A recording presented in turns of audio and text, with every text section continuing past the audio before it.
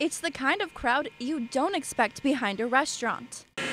Hazmat crews worked to clean up a diesel fuel spill behind Almez near Highway 51 and J. Tanker trailer had disconnected from the truck, and when it hit the ground, it punctured a hole, a large hole in the front of that container.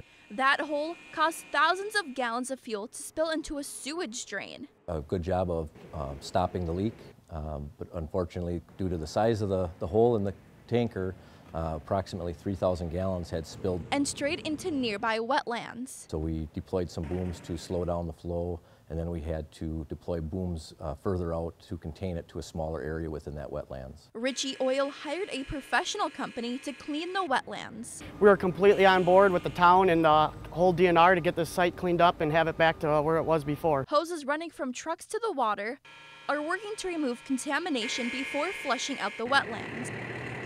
Crews think they should be finished by this weekend. But the area could still see the effects left behind.